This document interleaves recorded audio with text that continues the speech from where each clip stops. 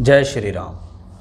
बहुत बहुत स्वागत है आप सभी का एक बार फिर से मेरे YouTube चैनल पर। मैं पंडित आशीष शर्मा। आज के इस वीडियो में हम बात करेंगे कुंभ राशि के बारे में। यानी यह वीडियो राशि पर आधारित है।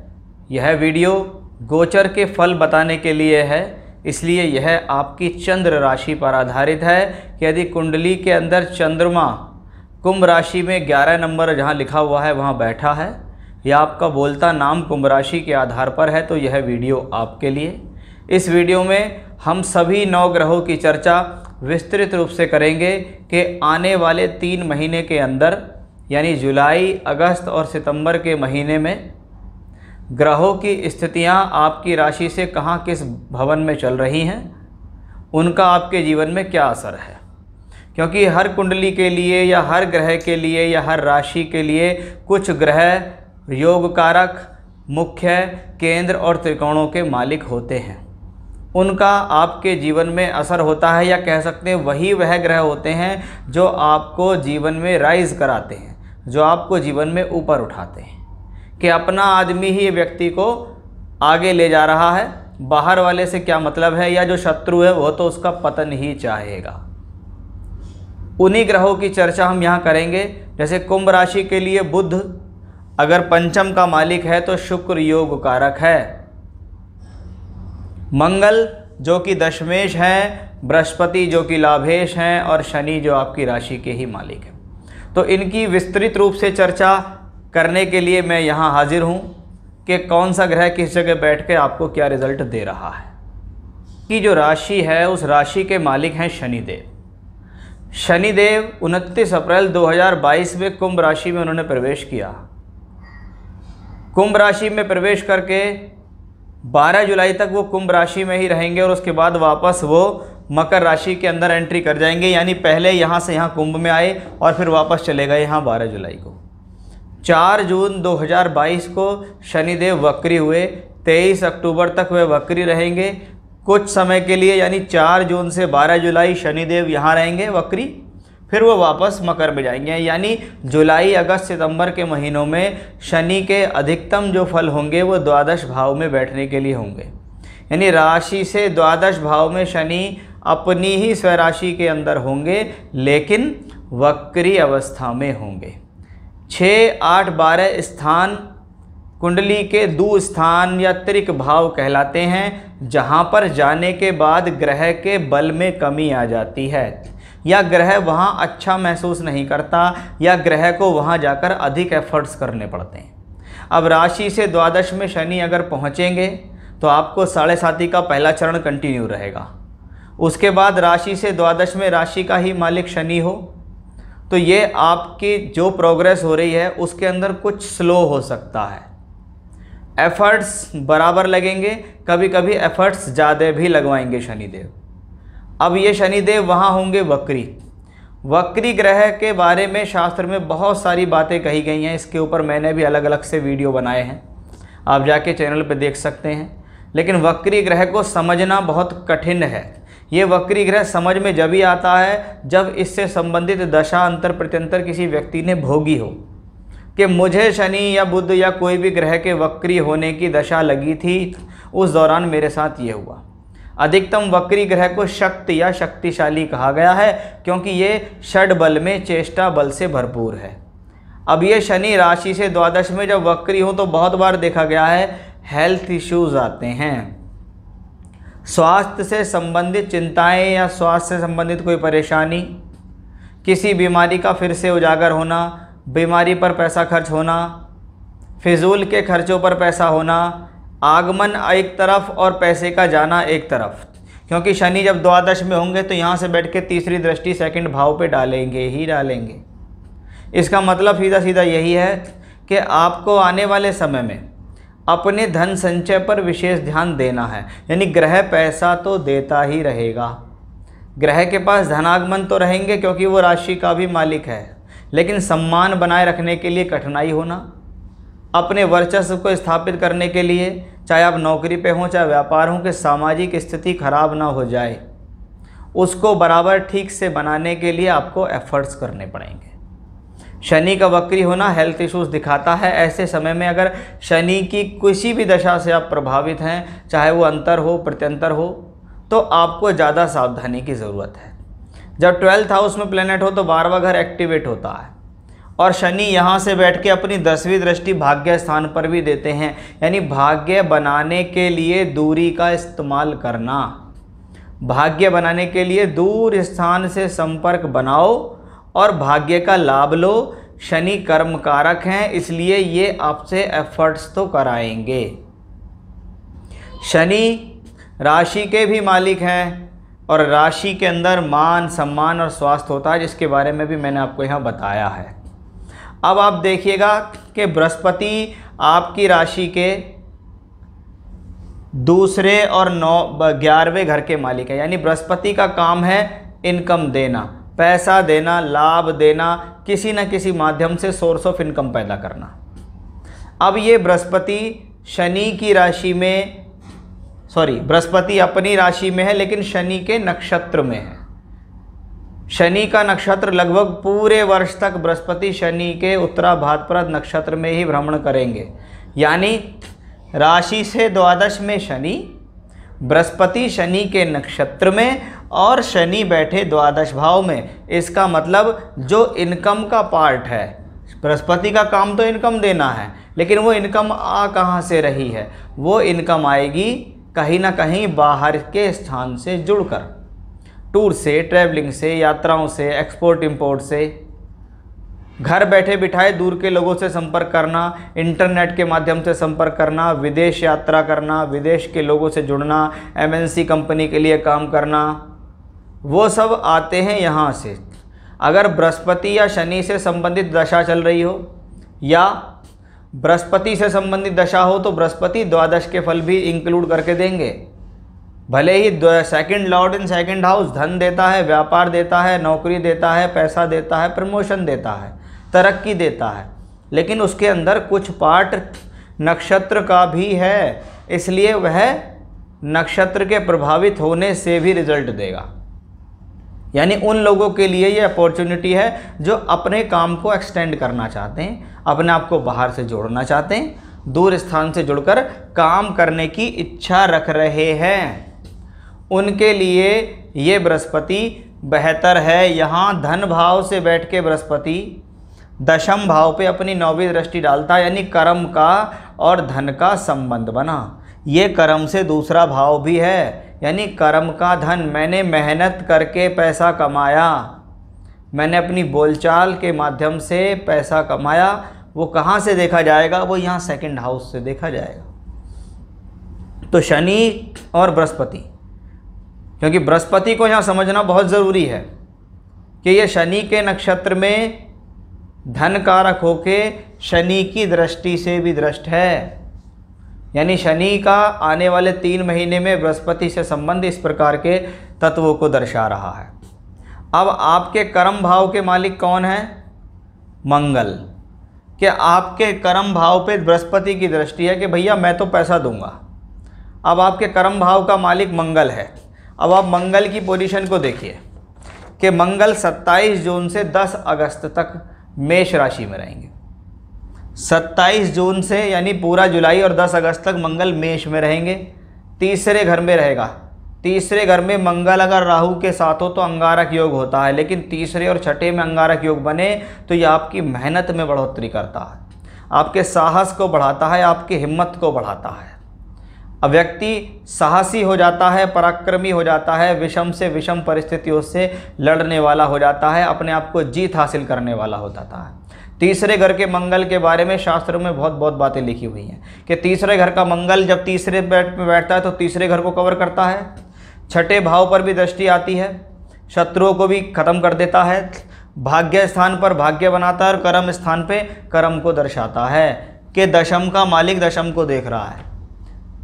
ऐसी स्थिति में व्यक्ति स्वतंत्र विचारों वाला और स्वतंत्र व्यवसाय की इच्छा रखने वाला भी होता है। अगर कुंडली में व्यापारिक रूप से योग हैं कि व्यापार कर सकते हैं तो ये वो समय है जिसमें आप व्यापार स्टार्ट कर सकते हो। कि आपके लिए सफल व्यापार का योग इस मंगल से है। व्यापार का संबंध, नौकरी का संबंध, तीसरे घर से टूर, ट्रैवलिंग, यात्रा आना जाना लगा रहना भागा दौड़ी लगा रहना भी इसी से आता है। मंगल राहु का तीसरे घर में योग होना हाँ कह सकते हैं छोटे भाई बहनों के साथ संबंधों के लिए अच्छा नहीं माना जाता। क्योंकि शास्त्र कहता है, कारको भावनाशाय, कि मंगल तीसरे घर में हो तो कारक भाव का नाश करेगा। लेकिन इसका मतलब ये नहीं है कि भाई बहन नहीं देगा। हाँ उनसे संबंधित विवाद या प्रॉब्लम देगा, या उनको कष्ट दे देगा, या उनसे संबंध खराब करेगा। अदरवाइज़ मंगल की ये स्थिति प्रबल है, चाहे वो भाग्य के तौर पे हो, शत्रुओं को हराने के तौर पे हो जीवन शैली को बेहतर बनाने के तौर पे हो या पराक्रम देने के तौर पे हो? अब यही मंगल को आप देखिएगा 10 अगस्त से 15 अक्टूबर तक अगर देखें तो वृषभ राशि में। इस बार मंगल की स्थिति बढ़ रही है, क्योंकि मंगल होंगे चौथे घर में दिग्बली। चौथे घर का दिग्बल मंगल प्रॉपर्टी के हिसाब से देखा जाता है कि भूमि, ज़मीन, जायदाद प्रॉपर्टी से संबंधित कार्य करने वाले या अगर जीवन में ऐसा कोई कार्य करने की इच्छा है तो ऐसा कार्य हो जाता है। प्रॉपर्टी में लाभ होना, प्रॉपर्टी परचेज होना पोजेशन मिलना अच्छा है। दशम का मालिक दशम को मंगल देखेगा, यानी कार्य में वृद्धि, जिस भाव का मालिक उसको देखे, वो वृद्धि करता है भाव में। इसका मतलब मंगल यहाँ बढ़ोतरी करने के लिए आए हैं। मंगल का संबंध यहाँ सप्तम भाव से भी है। थोड़ा बहुत पत्नी के साथ संबंधों में प्रॉब्लम्स आ सकती है, थोड़ा बहुत। क्योंकि आप थोड़ा रूलिंग स्वभाव के हो जाएँगे। ऐसा लगेगा, घर में मेरी चलनी चाहिए बस।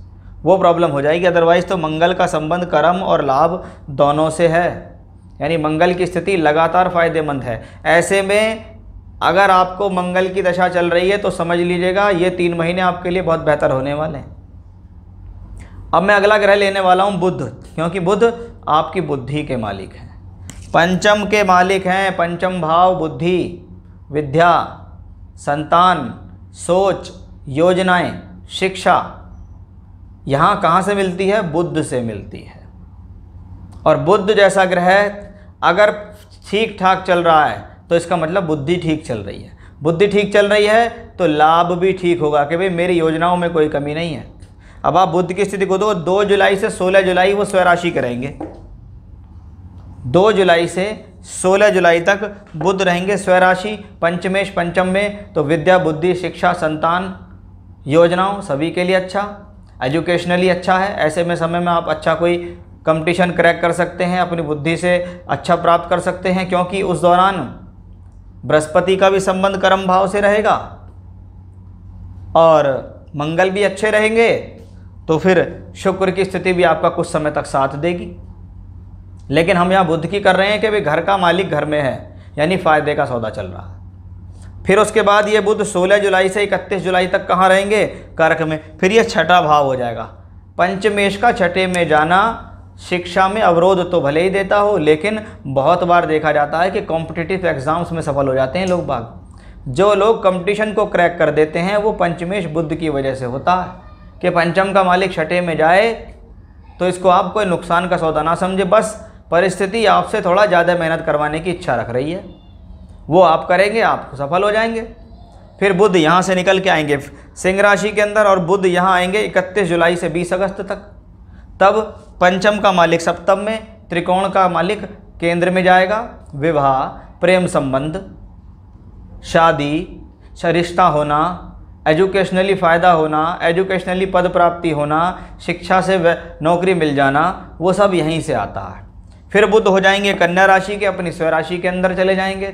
यानी अब ये बुद्ध यहाँ होगा रिसर्च के भाव में होगा, चाहे इसे शिक्षा के स्तर से देखो, चाहे लव रिलेशंस के स्तर से देखो, चाहे बुद्धि के स्तर से देखो, सभी तरीके से बेहतर है।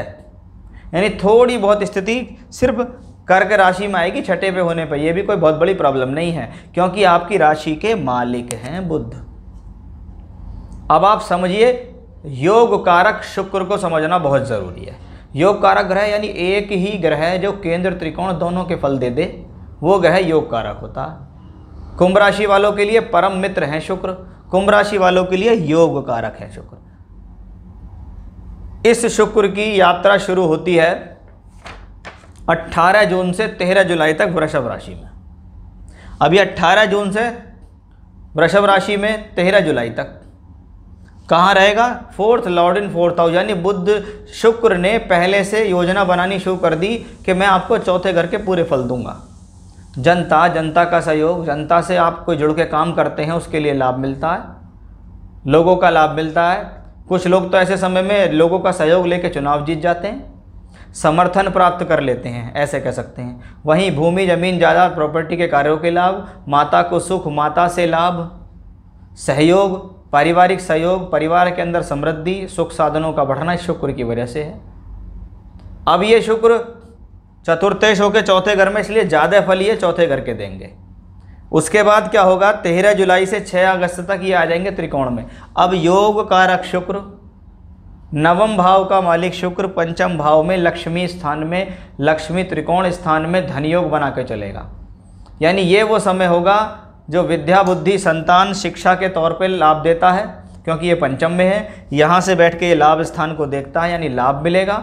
नवम का मालिक यहाँ हो तो एजुकेशन, हायर एजुकेशन में सफलता की, जी मैंने पीएचडी के लिए अप्लाई किया, या मेरी पीएचडी कंप्लीट हो गई, या मुझे कोई बड़ा अवसर मिल गया, या कोई अच्छी ख्याति प्राप्त हो गई, या कोई अच्छी एजुकेशन में मेरा एडमिशन हो गया, ये शुक्र की वजह से है। क्योंकि योग कारक ग्रह तो भैया तैयार रहता कि मैं तो भैया फल देने के लिए आ गया हूँ।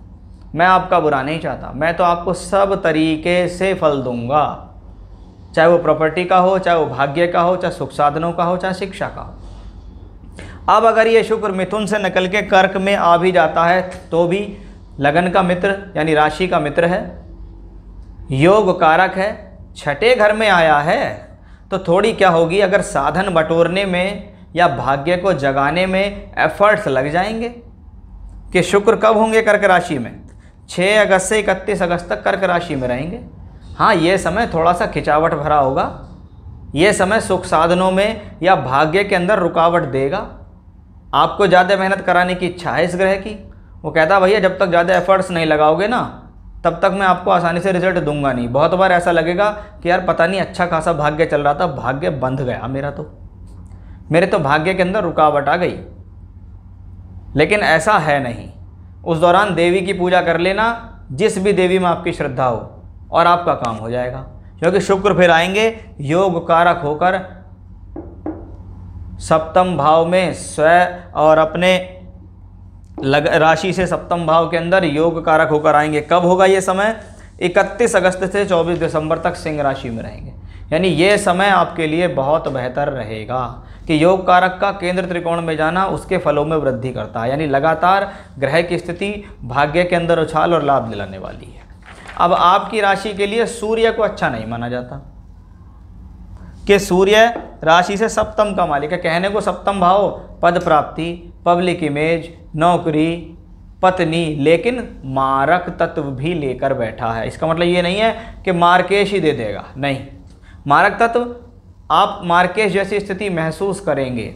कि यार, मैं जो भी काम कर रहा हूँ, मेरा एफर्ट्स ख़त्म क्यों हो रहे हैं? कि सूर्य के लिए हमने देखा 16 जुलाई से 16 अगस्त तक कर्क राशि में रहेंगे सूर्य। ये छठा होगा। सप्तमेश का छठे घर में जाना, जीवन साथी के साथ मतभेद, कलह एवं उसके स्वास्थ्य पर इफ़ेक्ट डालता है।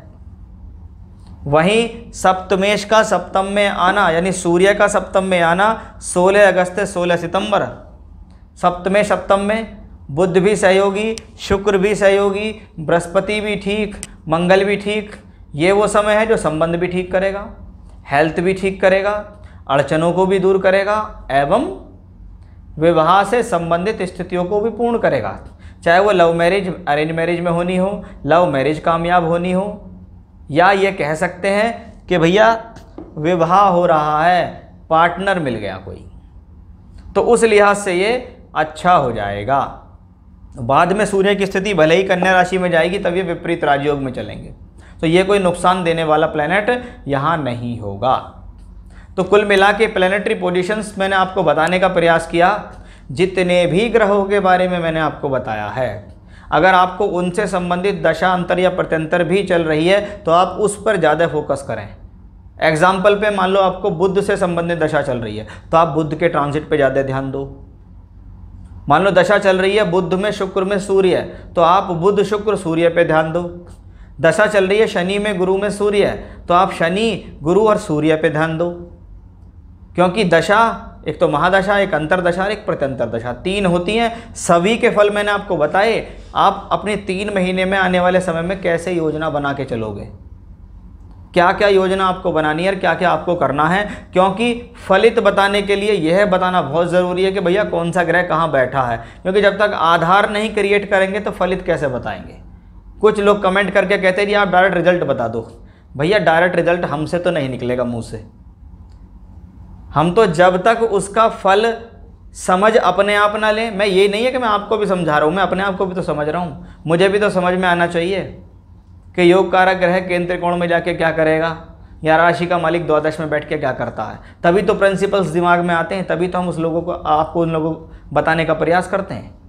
तो डायरेक्ट हम किसी चीज़ को नहीं बता सकते। समझिए, कुछ समय में समझ जाएँगे। ये ज्योतिष है, सनातन धर्म से जुड़ा हुआ है। हमारी अमोघ विद्या है ये, इसको समझना है। बहुत बेहतर रहेगा आपके लिए भी और आपके परिवार के लिए भी।